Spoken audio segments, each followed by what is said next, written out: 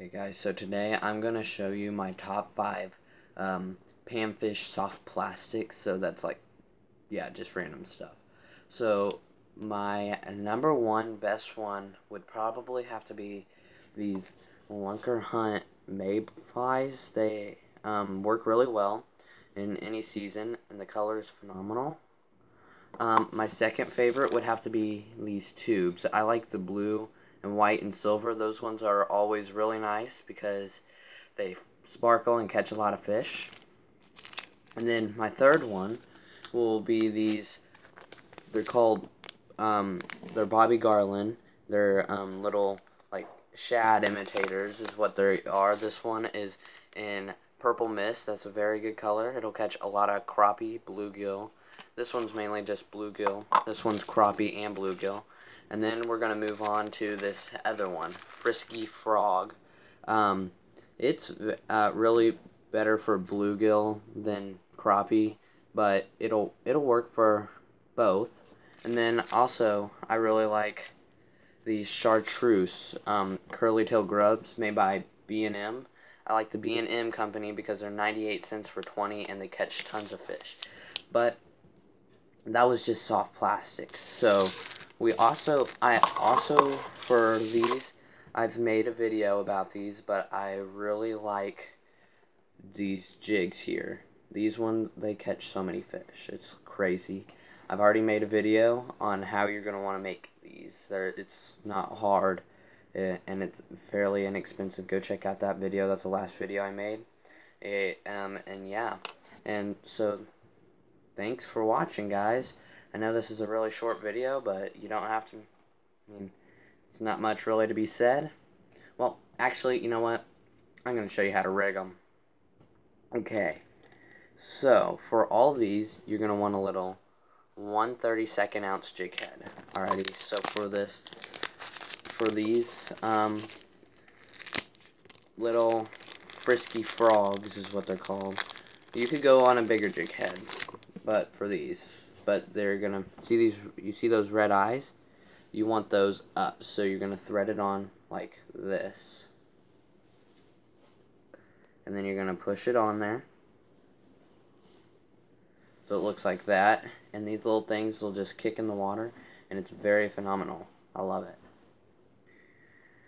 Okay so then you're gonna these tubes here you see?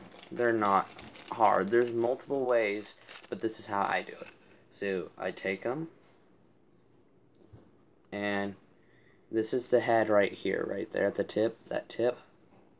So you're gonna just thread it on like this and just pop it out like that and push it all the way to the top so it won't come off. And there you go. You got your little crappie tube bait thing. These um actually, um, I, I didn't say actually everything. For the um, lunker hunt, you will need a normal hook. Let me find one here. Um, oh, there's one. That will look like this, but yeah, so we'll just go ahead and do that one real quick. So you're gonna open your bait jar. These things, like, they're a little expensive. That's the only downside to them. They work. Um, and you put this under a bobber or fly fish. I don't know how to fly fish. So. And you're just going to take it like this. You're going to just get in the center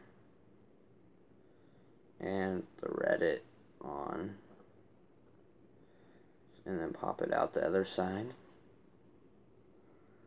And then push it on up to the eye until that. It's not really supposed to be up like that kind of messed it up, but you want to go all the way down to that little to that little area right there. So this is down like that, and this thing just kicks in the water, and it's very, it's a good bait. I like it a lot. Okay. Okay. So then the shad little flicker tail, this one, that that's gonna be almost the same as the other two one, but it is a little different. So for this one, you're going to take your jig head, right? got your jig head. This is the top, the little flat side, not this rounded side, the flat top. You're going to stick that on the top. So you're going to go on like this. I kind of screwed that up a little bit. It's okay. And you're going to go like that. And then you got that little bait. I like a little bit bigger of a jig head for this, just so that there's not as much a dangly bit for the fish to grab. Okay, and then last but certainly not least, you got these curly tail grubs. So you're gonna, let's see if I can get these things open first of all. I'm gonna open them on up, right? So, and then you're gonna take these like that, and then you're just gonna, it doesn't really matter on these because it's so weird. I would recommend a bigger jig head than this, but this is all I have on me. And you're just gonna thread it on like that, and then you're gonna do that, and then you got that. I mean, I like I said, I would recommend a little bit bigger of a jig head, so probably 1 16th to 1 8th ounce jig head would be better for these. These are more targeted for uh, uh, like crappie and stuff. That's why they're a little lower on the list.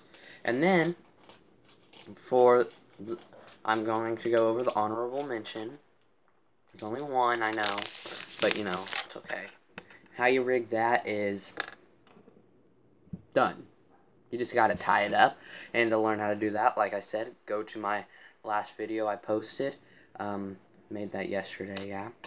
And, um, yeah, that's about it for today. Don't forget to like, subscribe, and turn on post notifications. Thanks for watching. See you later.